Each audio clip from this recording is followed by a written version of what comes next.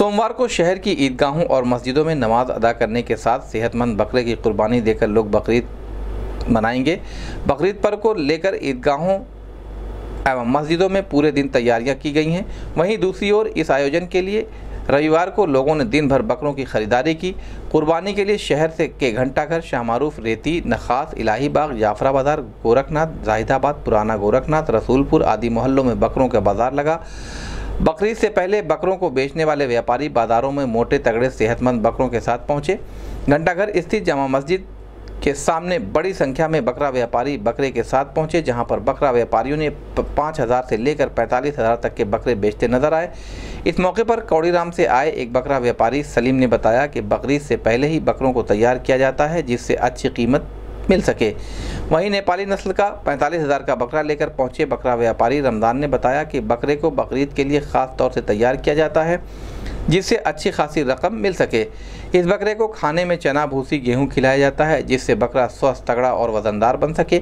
वहीं दूसरी ओर बकरा खरीदने पहुँचे मोहम्मद अशरफ व इब्तदा हुसैन ने बताया कि बकरीद के दिन बकरों की कुर्बानी दी जाती है, इसलिए हम लोग अपने अनुसार बकरों की खरीदारी करते हैं।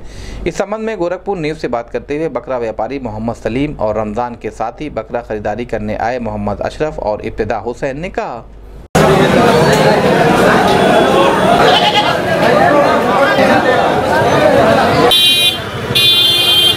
Thank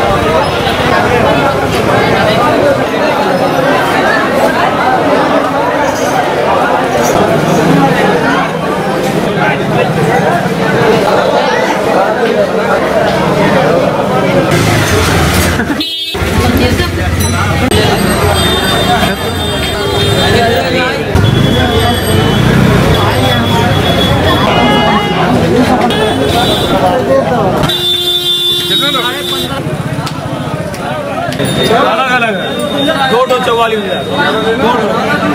दो दो चौवालीस हज़ार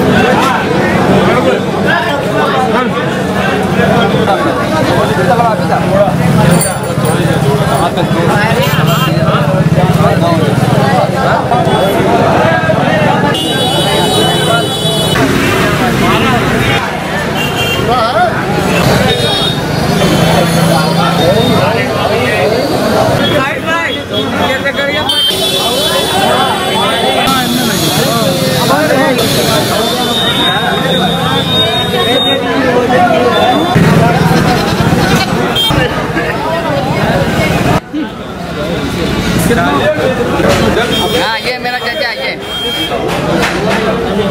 मेरा क्या है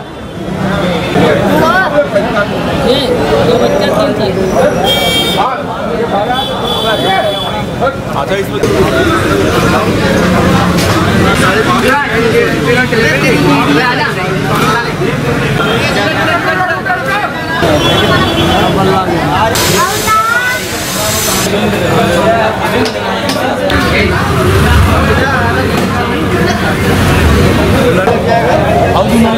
सबका बड़का बड़का साढ़े सात साढ़े सात। साढ़े सात। साइड हो जाएगा हमारे हमारे आपको बोल दिया था आप कहेंगे और आपको बाकी बोलेंगे तो कहेंगे बताइए आपको नहीं देता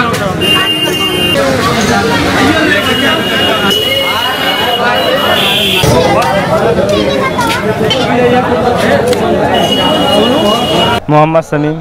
हम लेके आए हैं गोरख कौड़ीराम से। हमारे बकरे दस दस हज़ार के हैं। और कुछ फ़ायदे मिल जाए तो हम दे सकते हैं।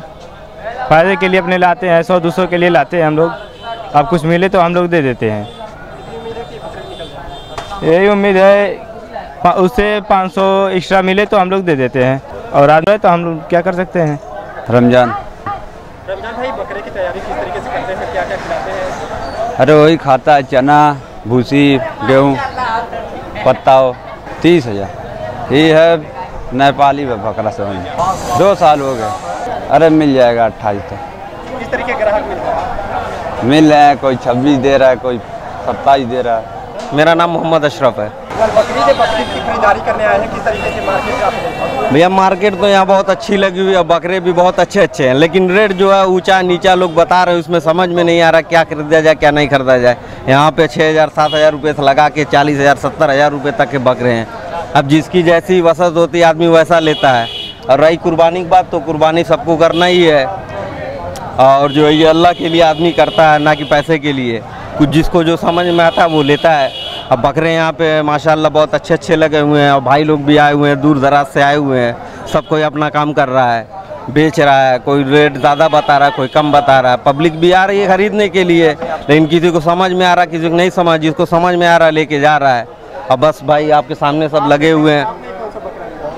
हमने पहले ही खरीदारी कर ली, और लेने आया हूँ। एक दो जो समझ में आएगा, ले लेंगे अभी। अभी तो मार्केट में है ही है। अभी और भी आना ही है, बहुत सारे बकरे हैं। इब्तदा हुसैन नाम है मैं पाँच छः बकरा ले चुका हूँ, और भी बकरा लेना है मुझे। अब रेट देखना है, अब कैसा है, कोई दस बता रहा, कोई बारह बता रहा, कोई पंद्रह बता रहा है। अब जिस टाइप से बकरा रहेगा, उस टाइप से रेट लगा हुआ है। अब मुझे भी लेना है, मैं भी लेने आया हूँ। बकरा बकरा कुर्बानी कराना, एक, बकरा ईद में हम लोगों का एक रहनुमा बना हुआ है कि हर साल हम लोग जो है बकरीद में बकरा ज़बा करवाते हैं। जी।